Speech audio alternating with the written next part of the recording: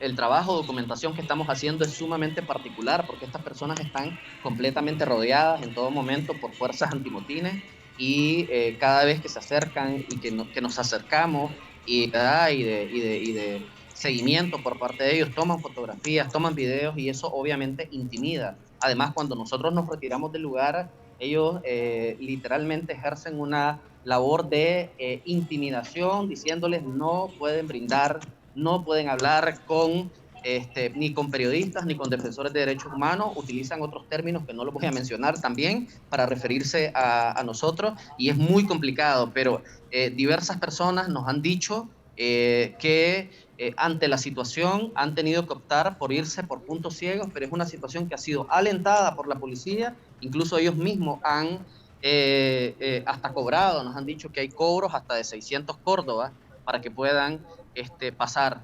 Este, evidentemente es una situación totalmente criminal, este, que es, eh, y lo hace más criminal el hecho de que estamos hablando siempre de nicaragüenses que están ingresando a su país y estamos hablando de que la policía, el órgano que constitucionalmente está eh, se conformó para la protección de las personas es la que fomenta eh, la inseguridad, es la que fomenta eh, la total desprotección de estas personas que al pasar por puntos ciegos se exponen a diversas situaciones. El día de ayer nos decía una persona que se habían escuchado incluso hasta balazos, no podemos decir quién, de dónde provenían, que si había sido el ejército o había sido la policía. recordar que en esa zona, en la, en la zona irregular, quien, quien resguarda esa zona es el ejército de Nicaragua.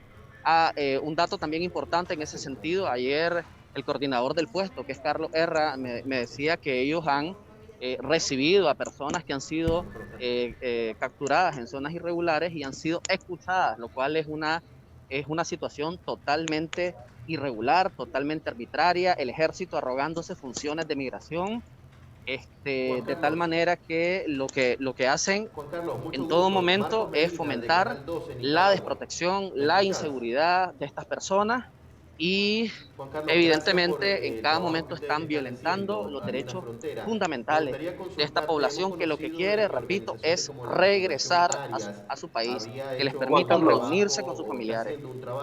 Juan Carlos, mucho gusto. Marcos Medina, de Canal 12, Nicaragua. ¿Me escuchas? Sí, Marcos, te escucho perfectamente.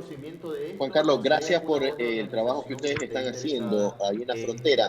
Me gustaría consultarte, hemos conocido de que organizaciones como la Fundación Arias habría hecho un trabajo o está haciendo un trabajo en relación a la aplicación de las pruebas para todos estos migrantes y que logren ingresar al territorio.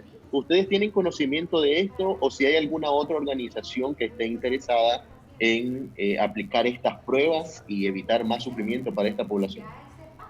Hemos escuchado, hemos escuchado, pero no tenemos información eh, oficial y hasta que no tengamos esa información oficial directa, este, no podría eh, afirmarlo con contundencia, pero sí se escucha en, eh, de diferentes iniciativas para eh, proveer de manera gratuita, así como en Nicaragua también hay algunas iniciativas. En ese sentido, estamos clarísimos y lo hemos vivido también en carne propia, la situación que están este, viviendo y que, que, que, es grave, ¿verdad?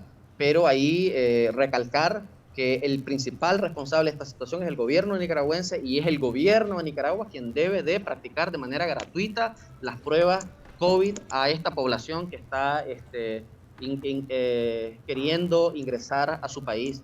Eh, este tipo de iniciativas, si bien son sumamente importantes desde el, desde el, punto de vista humanitario, pero lo que nos preocupa es eh, la, que se normalice una norma que se, ha dictado en Nicaragua y que se está aplicando que es totalmente arbitraria y es totalmente inconstitucional, eh, totalmente, eh, totalmente violatoria a los derechos humanos de la población, porque recordemos que esta situación sigue, eh, la pandemia continúa, de tal manera que no sabemos qué va a pasar. En este momento hay más de 300 personas en ese punto, no sabemos si va, todo apunta a que sí, todo apunta a que va a continuar la situación y van a seguir eh, viniendo nicaragüenses y queriendo eh, ingresar a territorio nicaragüense. No sabemos eh, decir si va a haber capacidad para poder enfrentar esta situación.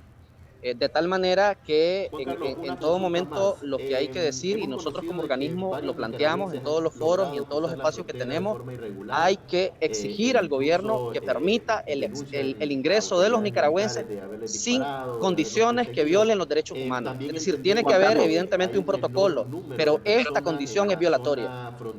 Juan Carlos, una consulta más. hemos conocido de que varios nicaragüenses han logrado cruzar la frontera de forma irregular e incluso eh, denuncian autoridades militares de haberles disparado, de haberlos perseguido.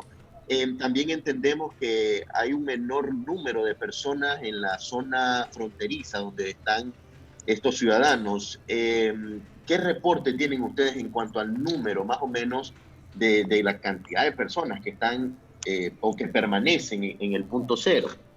Sí, el número, el número ha sido variable, pero ha oscilado entre 500 y 600 personas. Mira lo que ha pasado. Lo que ha pasado es que eh, anteriormente, la semana pasada, había personas en el puesto fronterizo, incluso, es decir, del lado costarricense, y estaban los más de 300 nicaragüenses aproximadamente, o al menos 300 nicaragüenses del lado eh, nicaragüense. Es decir, había eh, una cantidad de personas, incluso la Dirección General de Migración lo ha reconocido, que son más de 500 personas. ¿Qué es lo que ha pasado? Que como dije, muchas personas se han, eh, eh, han ingresado a Nicaragua por otros puntos.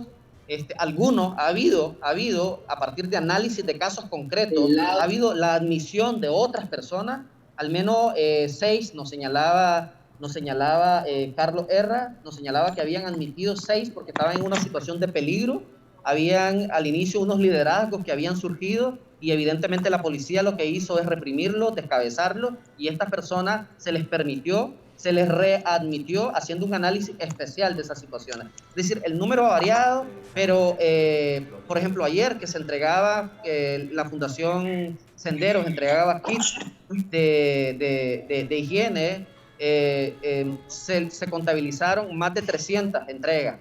Es decir, en este momento, en el puesto, en la línea fronteriza, hay más de 300 personas. Las personas que antes estaban en, el, puesto fronterizo costarricense del lado de Costa Rica ya no están. Entonces es muy posible o que se regresaron o que pasaron de manera irregular.